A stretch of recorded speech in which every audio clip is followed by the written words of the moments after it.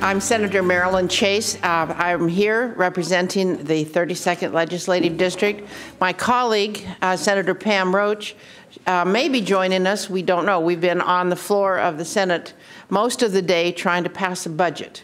Uh, so I will be going back to the to the um, uh, the Senate floor very shortly. But I want to welcome all of you to this very important discussion on on uh, how the how we set our educational policy in this country, because that is truly what it's about. Oh, good.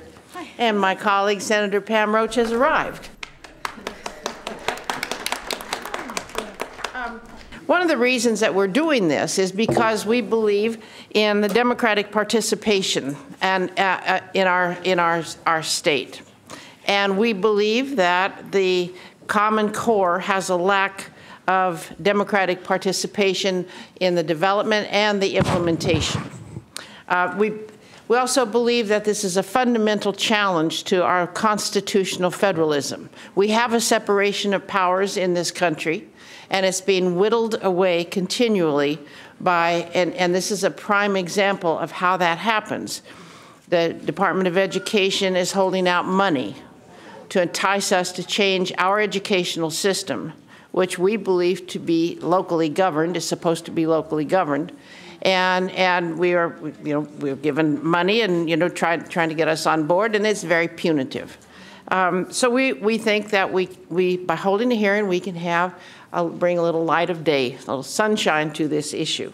Um, we are concerned that the standards themselves cannot be changed. I, I know that there will be discussion on that today. Um, and, and from the beginning, of the Common Core. There has been a lack of public participation, a lack of transparency, and a lack of educator participation.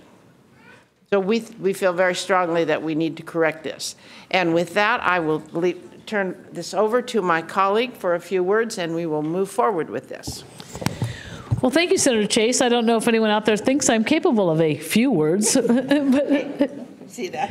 I'm just teasing. Thank you all for being here. Uh, we really, really appreciate it. It was just a few months ago that Senator Chase and I realized how strongly we, we both feel about this issue.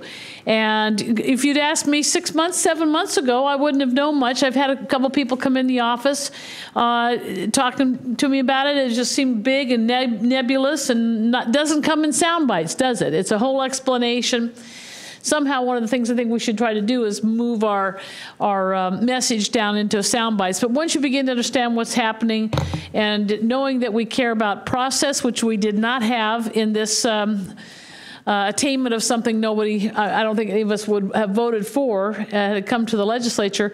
And we need process for our kids, and so we're here today. The purpose of the meeting, uh, I think, number one, is to find each other. You'll hear today from Republicans and Democrats. Both the Washington State Democratic Party and the Washington State Republican parties have come out in opposition to Common Core. But so often we're on other sides of the of the spectrum. You don't see each other. I mean, you know, Senator Chase and I see each other all the time. But this this is an opportunity to really work together on this um, on this issue. And so we want you to meet each other. We want you to begin to organize together putting every other issue aside and just talk and, and, work together to defeat really something that's been uh, foisted upon us without any will in, in, on our part. So you come together and then there needs to be a plan. You know, you don't change things without having a plan, and we're going to help you develop that plan. So uh, both of our offices are working together. We're working together. We want you to work together, and then we'll be we'll have at least one more planning meeting during the summer, so that we can make sure that next legislative session we're ready to go in and uh, and get the work done. So each and every one of you should have a personal relationship with your three legislators, not just one uh, to make sure that they know who you are. Uh, make sure that during the interim you invite them to a meeting that you have. Put together a meeting just for them call them whatever you want, invite them, and then invite any of their potential opponents to be there, and I'm guaranteeing you, then they'll be there, okay? So uh, with that, I have to give an explanation. We are trying to pass a budget in the Senate today. We have many House members and Senate members that feel the same way Senator Chase and I feel. Uh, in the House, particularly Elizabeth Scott, I think Matt Shea, I don't want to forget anybody. Do you, can you name a few off the top? Hate to do that without, but we, and we have others in the Senate that feel the same way. So you offer leadership, they come with you. You can't do all the issues, so you get some leaders in certain areas, and that, that's how that will work. We have people that are very interested in learning more. So with that, I just wanted to let you know that because of this voting situation, we might need to leave for a little bit keep going, move right on. We'll have someone take the gavel and we'll have the meeting go and then we'll come back as we can. Thank you. Thank you very much. And, and with that, it is my pleasure to introduce to you Dora Taylor, who is with the League of Women Voters Education Committee and president of Parents Across America, and she will be our moderator today. And again, thank you all for coming. We are very pleased to see so many people here. Thank you. Well, welcome everyone. It's great to see so many people here today, and I want to say hello to the people from Spokane and Seattle. Thank you very much for being here. Um, you will hear from a diverse set of voices on the Common Core standards today, the associated SBAC exams, opting out, and the history of standardized testing. The format is an overview by Dr. Ravitch, and then five minutes for each presenter here in the Senate room. In the second hour, there will be an opportunity for all who signed up to provide testimony for two minutes.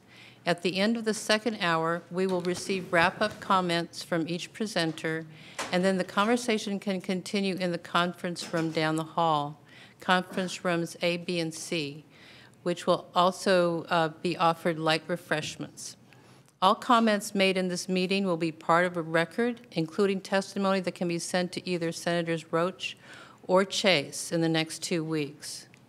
As Senator Roach said, there will be a second conference planned in September that will provide opportunity for more lengthy debate. And now, without further ado, I will introduce you to uh, Dr. Diane Ravitch. There.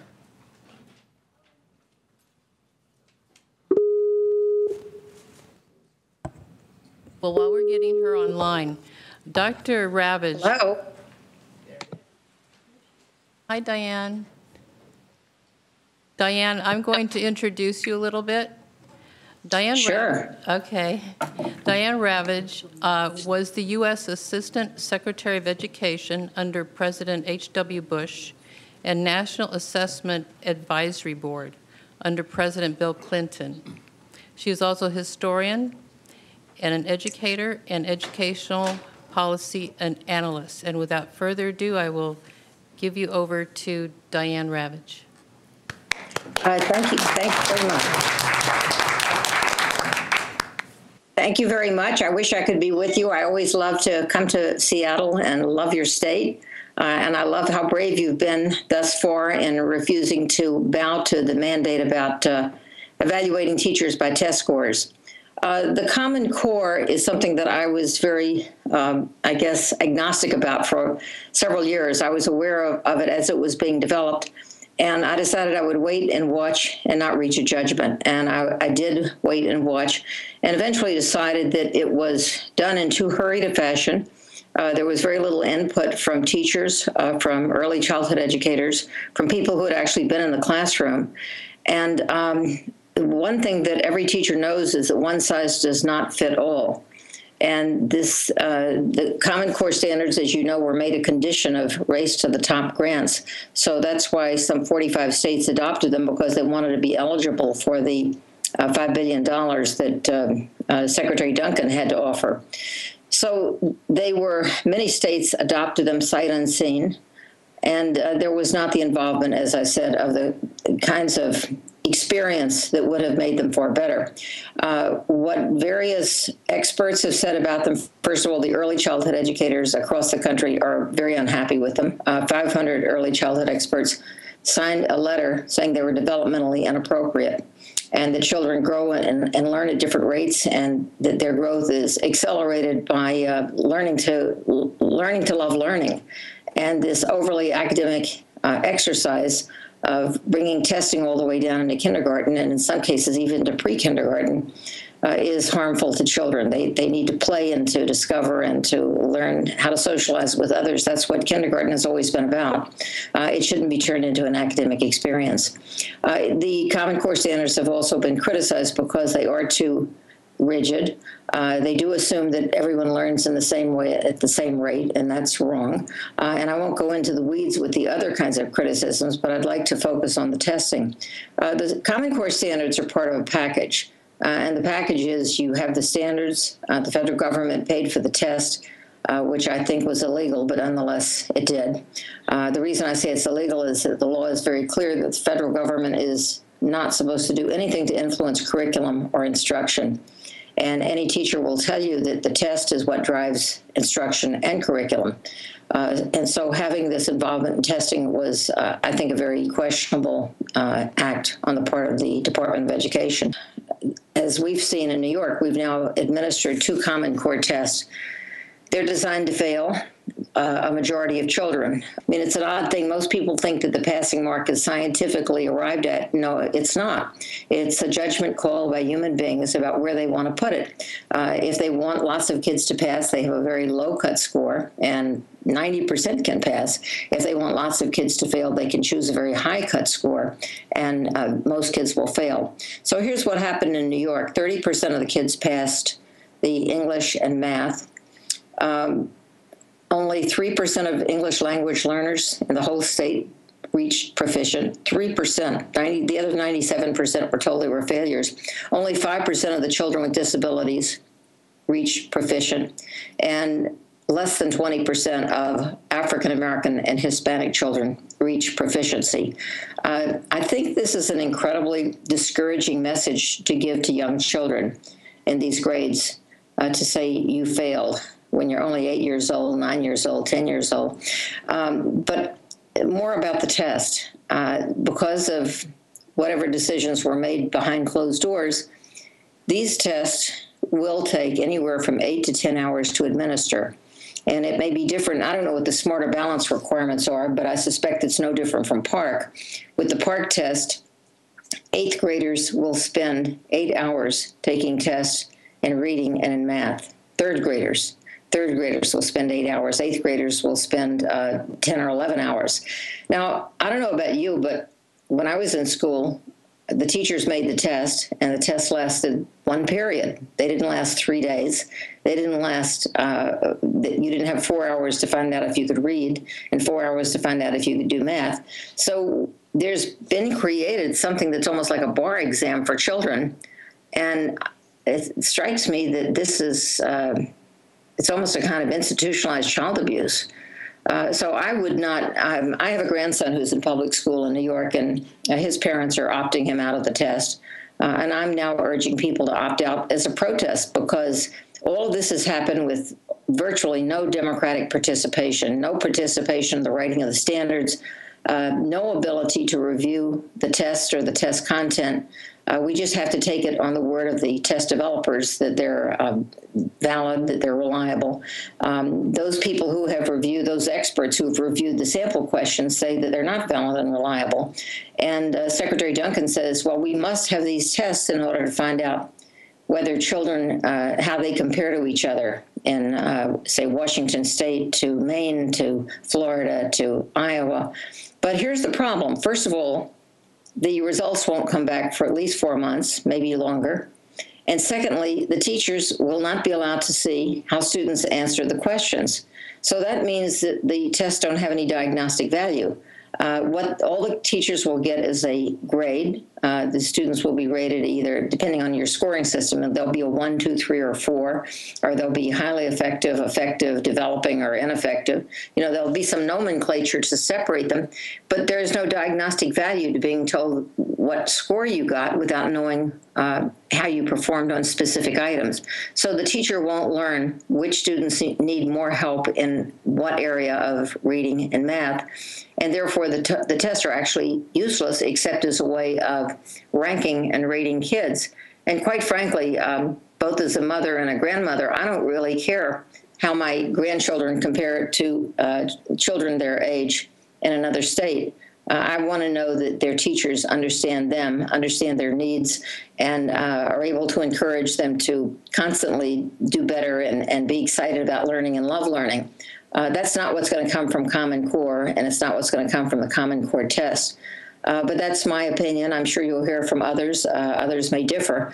Um, but I would say uh, that these tests, in order to have any validity, have to be the test questions should be released after the administration. The, the other thing, and I can't close without mentioning this, you may have learned uh, through the media uh, that the both test corporations are monitoring the social media of students. They have, I don't know how they do it, but they get the uh, social media accounts of every student who takes their test. They're data mining them as they take the test, gathering information about them, and putting it somewhere in the cloud so that they can develop products and sell it back to their school or their district. Uh, but there's no privacy. And students will have their tweets monitored, they will have their Facebook page, page monitored, and there will be keywords that the test developers are looking for. I think this is an unconscionable invasion of student privacy. And what the guidelines say, the security guidelines coming from both Pearson and the other test developers, is that students are not even allowed to discuss the test. Well, you know, if you go home and your father says to you, How was the test? student's supposed to say, Dad, I'm not allowed to say.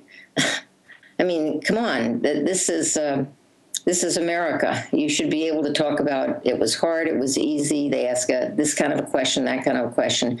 But very honestly, this to the extent that this test is given, it should be given at the same time everywhere. And maybe that's an impossibility. But frankly, in a country as big and diverse as this, it's uh, it's unrealistic to think that you can have one test for every child in the same grade and give exactly the same grade and expect that it's not going to have a disparate impact um, and we've already seen, as I pointed out to you, it will have a particularly bad impact on kids with disabilities, kids who, don't, who are not good with the English language, um, and uh, children who are uh, come from poverty and minority groups. Uh, they will fail and they will be stigmatized. And what is even more ridiculous is that under the current regime, um, hopefully not in Washington State, but it shouldn't be anywhere, their teachers will be evaluated as good teachers or bad teachers, depending on how their students did on these tests that were designed to fail them. Uh, that's a terrible burden to put on the children. The children know it. They know they they feel, and I've heard this from kids who've t- gone to testify at hearings like this one, and said, "I don't want to be responsible for my teacher's job. That that's wrong. That's wrong to put that on me." Um, the children know this, and I think that it's it's unfair to them. It's also unfair to the teachers. And if you haven't seen it, I urge you to Google the statement of the American Statistical Association on this way of evaluating teachers called VAM, Value Added Modeling, Value Added Measurement. And the American Statistical Association said it may have its uses for a district or a school, but it should not be used to rate individual teachers because there are so many other things that play into whether the uh, scores of children change the biggest part of it being home influences and family income. Uh, and the, the, teacher impact on test scores ranges from, as they said, 1 to 14 percent. So there are states uh, that will fire teachers, take away their livelihood, take away their license, even though they had no control over uh, their students' performance in, in most cases. Uh, so I leave you with the um, hope that you will think very seriously about this and think about the impact on children and think about whether you want a generation of children who've come to believe that uh, education consists of testing. I don't. Thank you very much for inviting me to speak to you. Good afternoon, senators, ladies and gentlemen. I would like to thank those of you who are sitting here today to give us parents and educators a voice and to tell our stories regarding Common Core and the impact it is really having as it ripples through the walls of our schools and homes and into the lives of our children. A government of people, by the people, for the people, shall not perish the, from the earth. Abraham Lincoln. I am one of those people living in the trenches every day alongside incredible educators working in a 90% poverty school. I am a National Congressional Teacher Scholar and National Board Certified since 2001, one of the first 100 in the state, and have facilitated several teachers through this process. I've been awarded the National Presidential Award for Excellence in Teaching Mathematics, the United States Senate Innovative Teacher Award, and the National Christa McAuliffe Fellowship Award. I've attended University of Washington, Whitworth University, and achieved a master's degree from Gonzaga University. Go Zags. I'm endorsed in mathematics, special education, psychology, and elementary education. But more than anything, I have spent 25 years working in Title I schools, low-income schools. I have a heart for these children. They're smart and they're courageous and they face situations unfathomable. I could spend way more than my allotted time telling you the stories from the trenches of children with no running water, children living in homeless shelters, children from refugees camps in Africa who don't speak one word of English when they come into my school. Children who check their backpacks several times on Fridays after receiving their meals that they get to take home for the weekend. The teacher's teaching, they tell me these stories. They get out of their seats and they walk to their backpack to make sure the food is still there. I stand here this late afternoon vouching and standing for every single teacher who gives their heart and soul to these children every single day. And I'm here to tell you that the SBAC takes longer than the PARCC. It does. It, the performance test in ELA, the kids enter the room at 9.05 and most don't leave until 3. They get a 30-minute lunch and a few breaks. The same thing for the math performance test. And then there's also multiple choice for math day, multiple choice for ELA day. It's way more than eight hours. Here's how else it's way more than eight hours. There's in, um, a test called Amplify that's been purchased by several school districts. It's owned by Rupert Murdoch uh, of Fox News. It took three to four weeks of our computer lab time to funnel in third through sixth graders to take this assessment. The plan is to do that three times a year, so there's three months, add two months for SBAC. Our computers are being taken five months out of our eight to nine month school year. I'd like to say a quote from Carol Bur Burris from New York, and she said, um, she's the New York Principal of the Year in 2013, and she said, I do not believe that any of the players in this project are evil people trying to control the minds of kids. Rather, they are true believers with an ideological allegiance to untested curriculum. The Common Core has some features that are good and others that are just awful. And for me, as an educator, the awful part is this one size fits all approach demanding all children meet the same learning goals and targets at the same exact time. Our children are not robots. Look at them. They're not machines spewing forth correct information on the spot, lickety split. What do we hold most dear in our children? What is it we hope for them as they grow into their potentials? Will standardization be the answer? Rigor, rigor, the new favorite word traveling around the educational world. I, for one, as an educator, I'm tired of hearing that if I question these standards or I question the rigor of the standards, that somehow I don't believe in the best for my students or that they can achieve great things. That is a huge untruth higher, longer, harder, broader, more, and younger and younger. Is this the answer? Is this how learning works? Let's take just a moment to examine this. I have a little short story about Renan when he was two, and I went across the street and they had a pool party, and a mom, they're all two, they're swimming, they're playing, and she went on and on about how her two year old knew his alphabet and all the sounds and could say all the letters. And I'm an educator. I went, wow, inside. I'm thinking, how'd you do that? Well, every time my child takes a bath, I have them line up the letters and they say them in order, and then we're practicing their sounds. Two. So Here's my son. I, I didn't really care. Play. So, how is my son doing today? I just had his parent teacher conference, and he is reading nearly two grade levels above second grade. The other little boy moved away, but I'd be really curious. I wonder what his reading level is today. Did knowing his letters at two become a predictor as to what kind of a reader he would be at eight? I don't think so.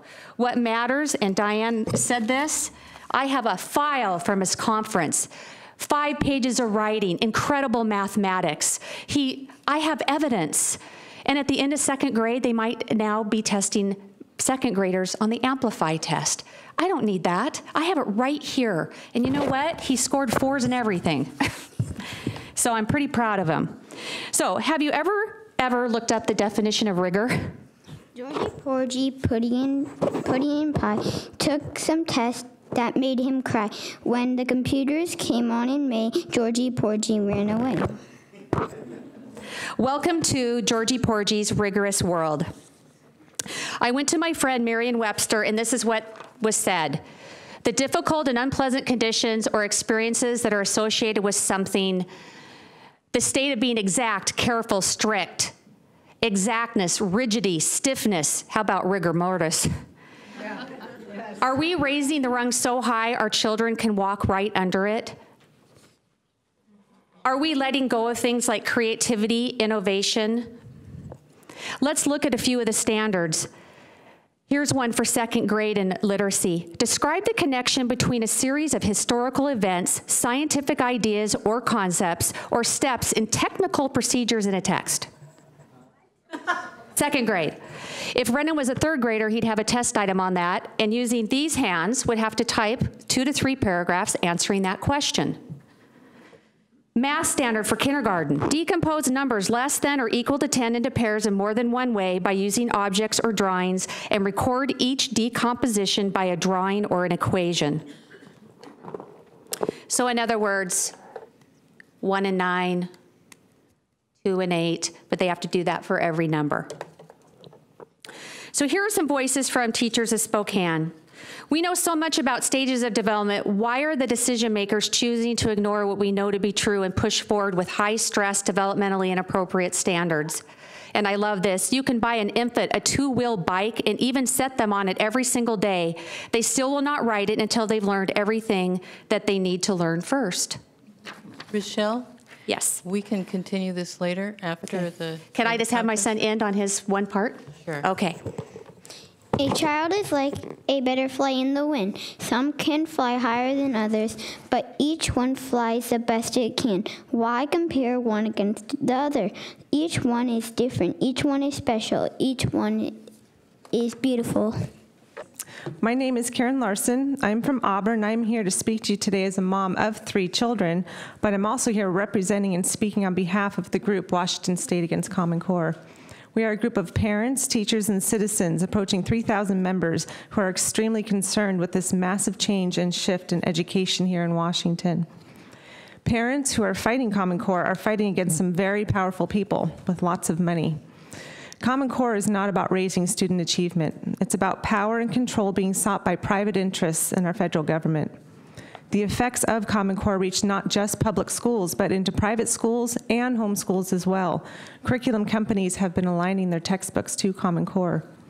Common Core is also not just a set of standards as we're told, it's a fundamental transformation in the shift of education in this country. I became concerned about this around two years ago. One of the red flags that stood up for me was when I watched this dad in Maryland who was at a school board meeting and he wanted to ask a question regarding the changes in his school. And the reason why this stood out to me is because this dad who stood up to ask a pointed question, he was promptly shut down by the moderator and escorted out by a police officer there providing security. And I thought, what's going on here? This is public school. He's asking a question for his school. So I started researching a bit more on that, and there were so many other things that stood out in my research. There was no K-12 teachers involved in the development of K-12 standards. They were done behind closed doors no transparency, no early childhood specialists included in their development. As a parent, none of this sat well with me, and I speak for all parents who are realizing these facts. I've come to believe that Washington State can do better. As administrator of our group of 3,000 members, I am here to represent those parents, that parent that watches their child struggle to understand the age inappropriate standards in the early grades, that parent with a master's degree who cannot help their child solve their second grade math question, that parent whose child cries over, home, over homework that they rightfully don't understand. The parent who then watches that natural childhood spark of curiosity slowly slip away as her child labels themselves as failures. I represent a mom in Bellingham whose fifth grade daughter is dyslexic and has been struggling with math standards all year and has fallen behind. I represent a mom in Auburn who's watching her seventh grade son's self esteem plummet because he is so frustrated and disheartened. Despite her son's meeting with a tutor four days a week, he still does not understand his math and he's currently not passing. He does his homework and turns in his assignments on time and tries his best, but he can't understand the convoluted abstract methods being taught in the classroom. Her very smart, funny, and engaging son, who aspires to be an Eagle Scout, now doubts his ability and does not even want to try anymore. I also represent a high school senior in Bellingham. She no longer has textbooks for math. Everything is done online. She finds this very difficult because it's hard to reference back and forth, and also the fact that she does have internet access at home, but what about her friends that don't have internet access at home? They frequently come to school without their homework completed. I also represent teachers in our group who struggle knowing that these standards are not appropriate for their K-3 students, but they have to teach them anyway. That teacher that knows that testing does not mean teaching, but have to sacrifice instruction time to administer them. That teacher who in their heart of hearts knows that they are no longer educating children, but they're instead facilitating a process of information. I believe Washington can do better. Our schools are not failing. It is the policies that are failing our schools. Today's children in the classrooms, they're going to be tomorrow's leaders. These, children's will be, these children will be the policymakers of the future. I speak for all parents when I say that we have a stake in what is happening in our public schools today.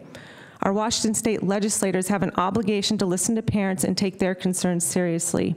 For far too long, lawmakers, stakeholders, and big businesses have instituted education policy and, and ignores the voice of the people that live in that every day. Supporters would like to say that we parents are making this political. Well, as a mom who has never interjected herself into politics, I can tell you that I am not making this political. I am a mom, and no one is more invested in my children's education than me. All too often, our voices are not being listened to. There's this idea that it's the experts who hold high positions in offices, that they're the ones that know what's best for our children and our schools, and that we just must comply.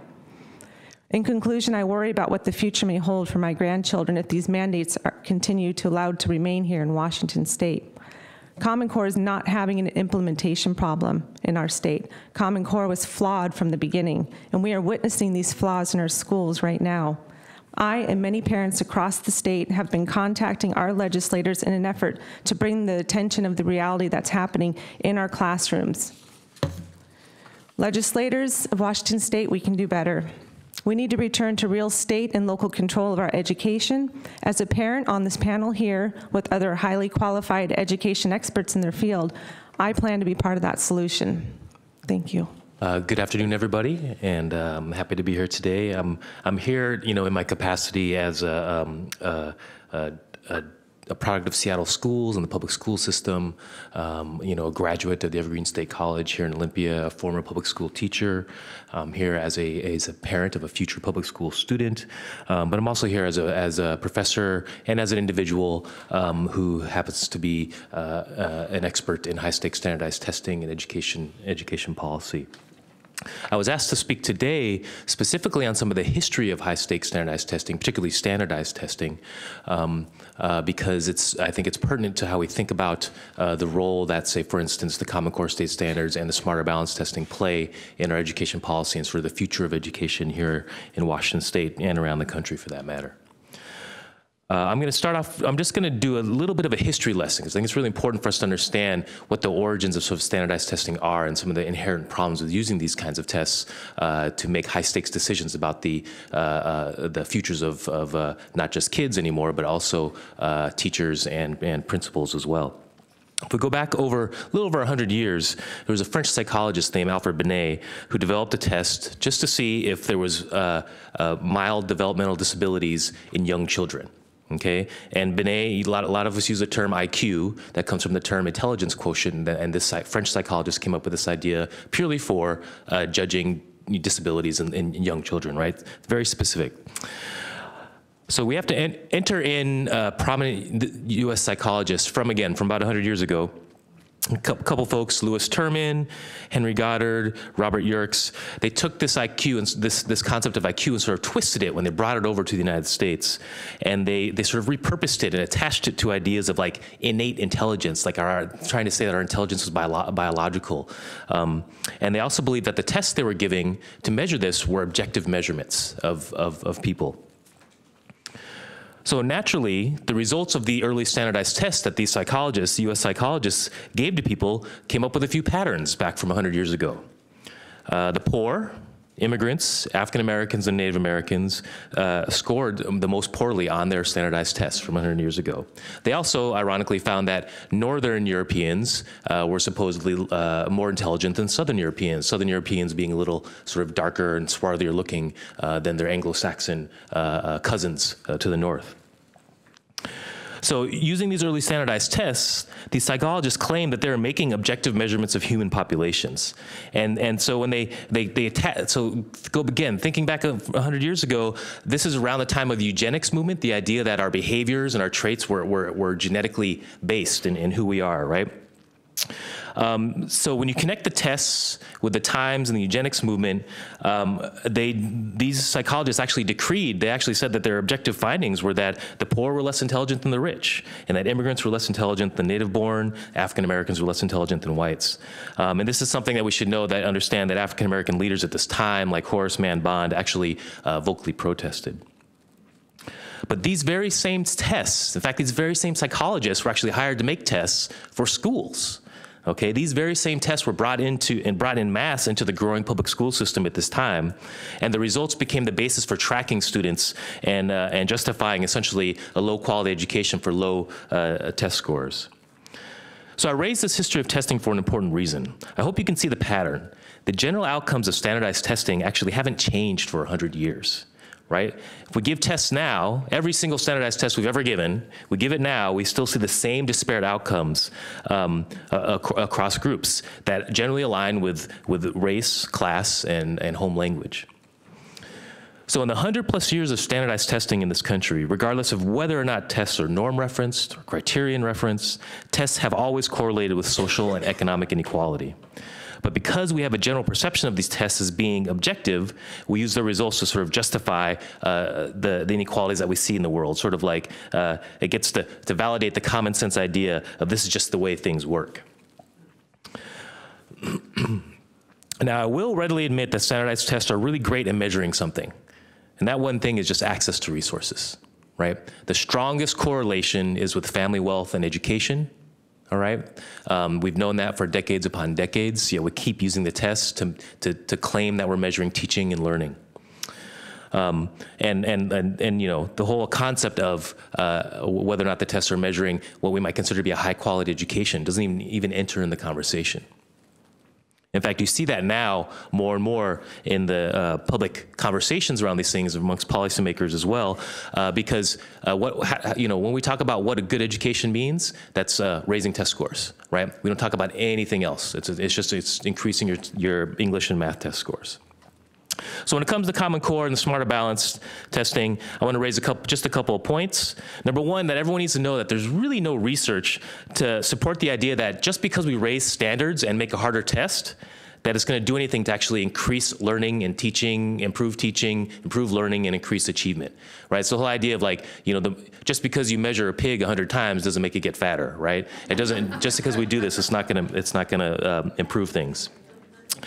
And finally, I just want to close with saying that the Common Core testing will be no different around all these inequalities, right? We already know that. We've seen it in New York, massive failure, massive failure concentrated amongst groups like Rab- Diane talked about, Dr. Ravitch talked about, um, that we know are already aren't doing well and need more, resources, need more resources to achieve. The same is going to happen here in Washington State once the results of the Smarter Balance Assessment go public. The cut scores are already set around 60% failure uh, across all tested grades in both English language arts and mathematics. And the failure would then be used against teachers, schools, principals, parents, students, and communities uh, to further restructure public education in our state in very detrimental ways. At the same time, it's really going to enrich educational corporations that are already profiting from our children and our tax dollars. So thank you. Thank you, Dora. Um, I want to thank the senators for having this and all of the people who are involved in arranging this, and I want to thank all of you for being here. The states were led in the development and adoption of the Common Core state standards by Achieve, the National Governors Association, and the Council of Chief State School Officers, all private entities with no accountability to the people in the state of Washington. Officials in Washington began making commitments to adopt and implement the standards as early as 2009 by signing a memorandum of agreement. Passed prior to the standards being finished, Senate Bill 6696 authorizes the superintendent of public instruction to provisionally adopt and officially adopt the standards. The superintendent of public instruction provisionally adopted in 2010 and officially adopted in 2011 as authorized by the legislature. Washington submitted race, a Race to the Top and a Race to the Top Smarter Balanced Assessment Consortium grant applications in 2010 and the No Child Left Behind waiver request in 2012, all further committing the state to adopting and implementing the standards and assessments. There have been many promises and supporting claims about the Common Core state standards, internationally benchmarked, college and career ready, research and evidence based, clear, coherent, do not define how teachers should teach, state to state consistency, and student mobility. The promises were not delivered on, and the claims are not substantiated by evidence. Assessments are tied to the standards. The Race to the Top assessment grant awarded to Smarter Balanced Assessment Consortium and the state of Washington required the development of a valid and reliable assessment. No proof or evidence of Smarter Balanced Assessment Consortium's validity and reliability exists. No Child Left Behind requires the state to administer valid and reliable assessments. By using the Smarter Balanced Assessment, Washington is not in compliance with federal law. Important decisions will be made based on the results of the assessment that has not been proven to be valid and reliable. Washington led the Smarter Balanced Assessment Consortium for the duration of the grant and continues participating in the consortium even though the consortium is an illegal interstate compact under the Compact Clause of the United States Constitution. There are many concerns related to the standards, including issues with the content of the standards, cost of implementation, technology and assessment costs, data collection, data mining, tracking, privacy, and loss of local control. The intent and content of the standards will not lead our students to receiving the solid knowledge and skill-based academic education they deserve. The standards and assessments represent a shift to an emphasis on deep disciplinary understanding and higher order thinking skills without the foundation of a knowledge and skills base. Another shift has taken place. Many of our decision makers have shifted from making decisions as a result of a discourse with the people they are to represent to making decisions to satisfy the federal government, influential individuals, and corporations. The authority of parents and citizens is being undermined as more and more decisions, including the content of what our students are to be taught, are being made too far from our local schools and communities.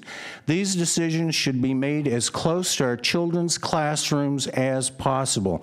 How many of you in the audience here are parents? How many of you are teachers? How many of you are local community members? Okay? Parents, teachers, and local community members should be truly engaged in decisions related to the education of their children, including deciding what the students in the state of Washington should be taught. We should not allow these decisions to be made by the federal government or private entities not accountable to our local communities and the people of our state. Parents, teachers, and community members, that's you folks. That's everybody else you know, educate yourselves, educate your friends, your neighbors, and your legislators. Stand up and have your voice be heard. No more Common Core. I want to start finding, my name is Sharon Hannick. I am a mom from the Bonney Lake area. I started off many years ago by being a CPA, a numbers lady. And then I transformed into being a mom And when I was a mom, I started researching what was happening with schools, and then I became a mother bear, which is what put me as a watchdog mom. I have been following the reform movement since the early 1990s, researching the standards-based system and performance-based system from the EALRs and WASL to the Common Core and Smarter Balance. Over the years, it has become evident that we are in a systemic transformation of education, away from a focus on facts, knowledge, truth, and I put in cursive writing for Senator Pam Roach. I hope she hears this sometime. She has had a problem with her own grandchildren not knowing cursive writing. And it, so we've gone away from that to an education based upon how we think and an assessment that ensures that all children follow the proper process, even if they get the wrong answer. We use the word standardized test, but nothing in this assessment is standardized or uniform. We have questions that are based upon interactive Common Core online tests that will change depending on how a student answers the question. If a student answers it correctly, they might get a harder question. If they answered incorrectly, they get an easier question. No two children may be even taking the same set of questions on a test. Math questions on Smarter Balance can be answered by saying yes and no depending on how you defend yourself. I have with me a copy of the Smarter Balance Released Examples Grade 4, where there's an example of a two-point question. The answer to the two-point question is yes, and the answer is no, depending on how you defend yourself. I also have an example of a released questions for the Smarter Balance English Language Arts. The scoring of the answers is subjective. Writing pieces are not judged for their pure accuracy in spelling, grammar, and punctuation, but in its readability. In fact, the, it says that the explanation of one of the, someone who got a one point answer, that it was readable, that the errors were readable,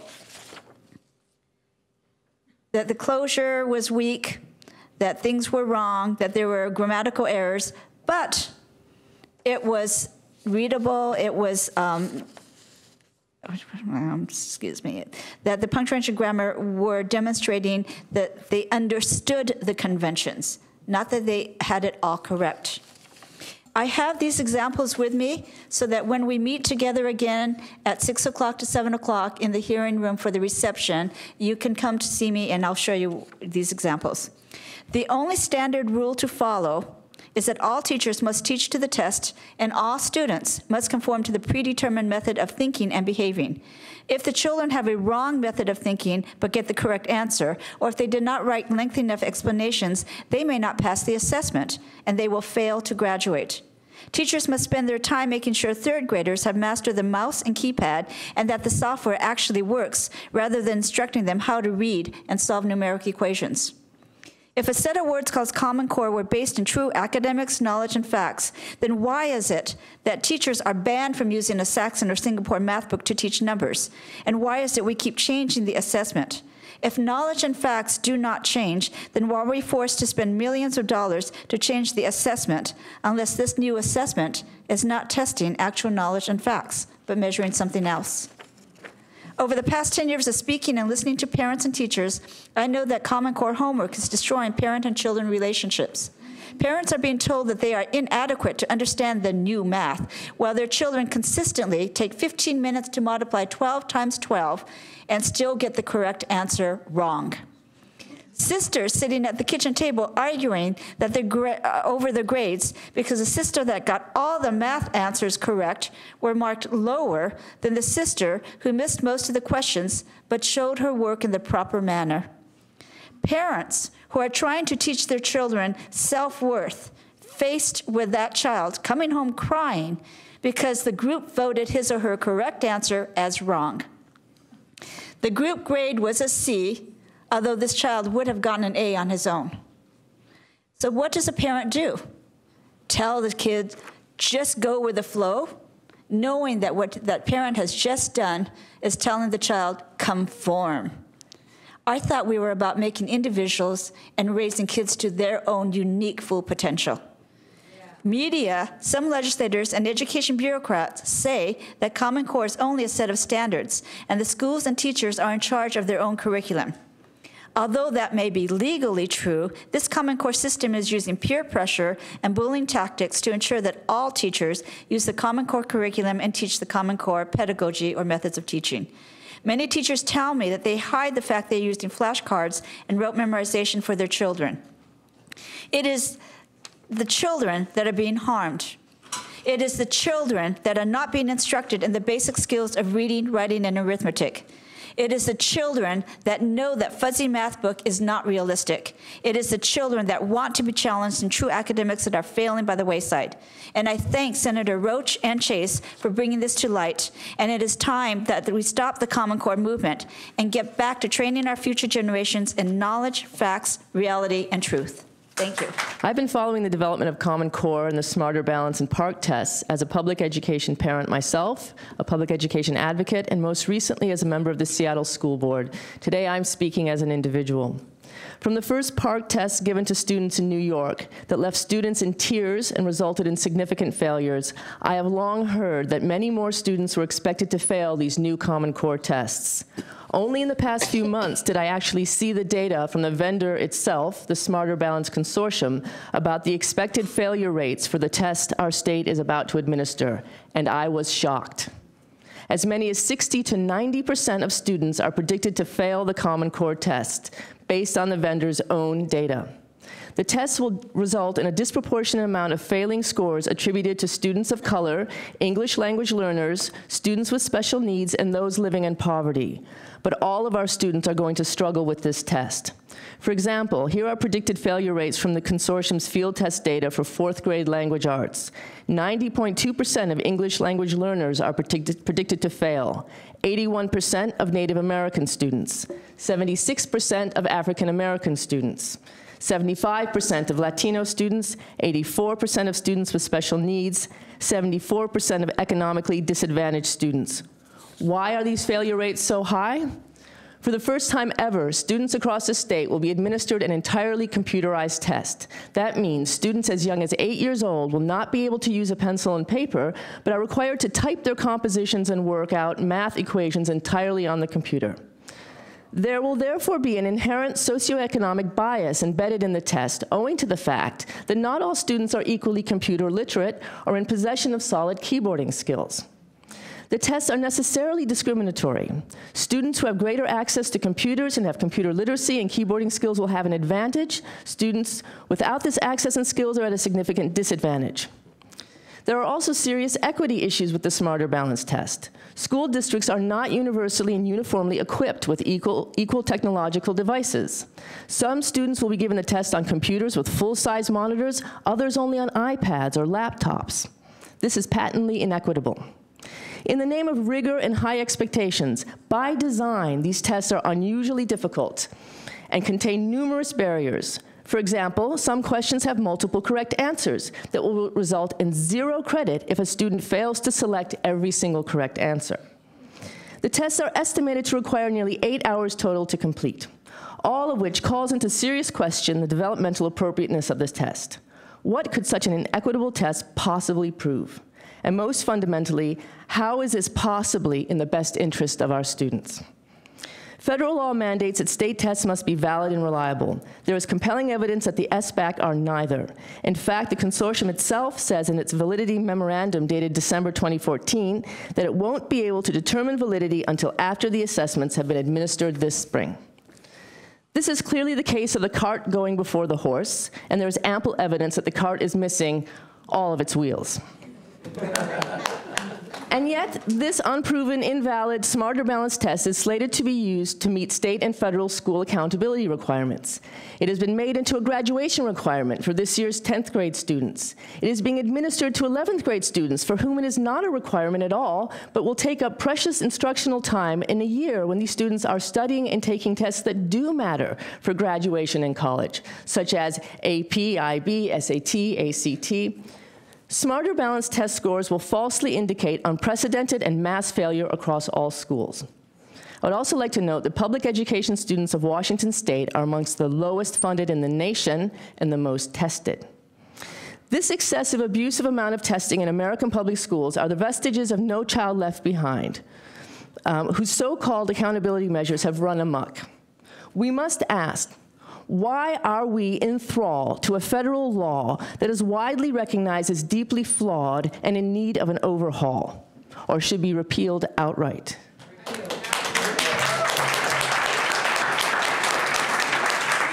Reached a point in our nation's public education history where federal and state mandates are forcing local school districts, schools, and teachers to violate their own policies and their own professional judgment and philosophy, forcing them to act against the best interests of the students. This is unconscionable.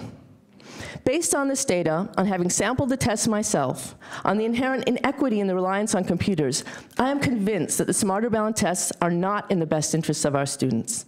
They are neither reliable nor valid and will not be a fair measure of anything, our students, their knowledge, the ability, their abilities, nor that of their teachers. Any test that fails 60 to 90% of students is itself a failure.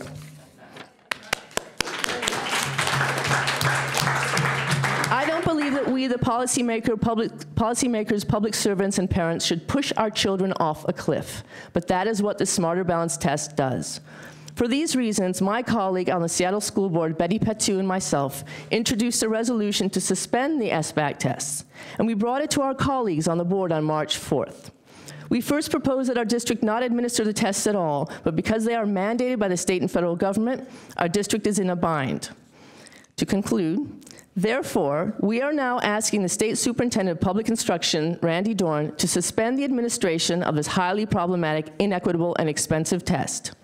Barring that, we are asking him, thank you, to suspend the use of the scores for any measure of any consequence, such as high school graduation, adequate yearly progress, or other measures. Other states have already passed laws and resolutions to this effect Vermont, California, and recently the Portland, Oregon School Board, our neighbors to the south. In sum, I ask Superintendent Dorn and the state legislature to restore humanity and sanity to public education. For I strongly believe that it is antithetical to the mission and duty of the Seattle School Board to enable students to fail. We made a commitment established in our district's strategic plan to put students first, guided by policy like Seattle's Race and Equity Policy 003, which requires us to provide an education free of barriers. Our duty is to help our students succeed and help build their confidence and mastery and joy of learning, not set them up for failure. Thank you.